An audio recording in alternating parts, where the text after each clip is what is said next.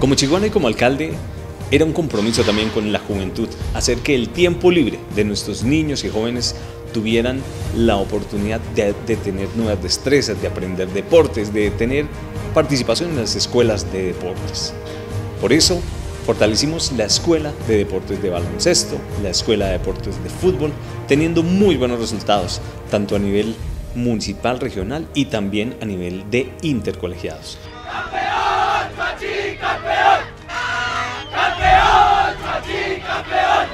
También avanzamos en otros deportes como el microfútbol. Indiscutiblemente logramos a través del ajedrez tener participaciones nacionales, regionales, pero también internacionales. Agradecemos mucho a cada uno de los docentes y especialmente a nuestra campeona, a Mariana, que trajo muchas alegrías y que es un ejemplo del deporte del ajedrez para nuestro municipio. También tuvimos muy buenos resultados en taekwondo. Esta innovación en nuestro municipio dio muy buenos resultados, teniendo excelentes participaciones, medallas de oro en diferentes torneos. No solamente con el deporte, sino también en otras disciplinas para aquellos niños que disfrutan del teatro.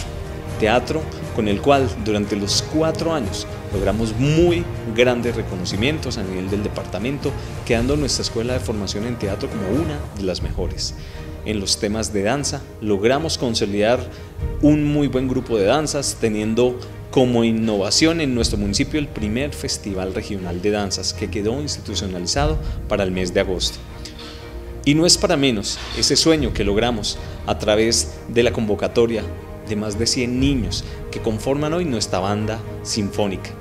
Toda una experiencia maravillosa con los niños, con los padres, con los docentes, con los cuales logramos dos participaciones nacionales. Una en Viterbo, en la cual quedamos dentro de las 10 mejores bandas a nivel nacional, como la número 4, y el segundo lugar en el concurso nacional de bandas en Paipa.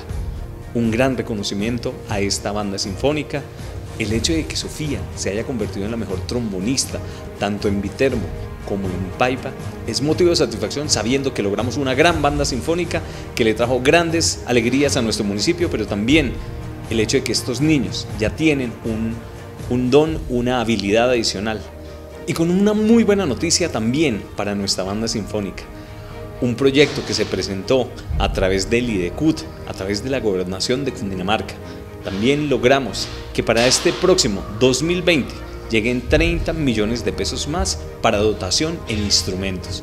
Así es que logramos el sueño de tener una sinfónica, la dejamos muy bien dotada y esperamos que sea y siga siendo un orgullo para todos los chihuahuas.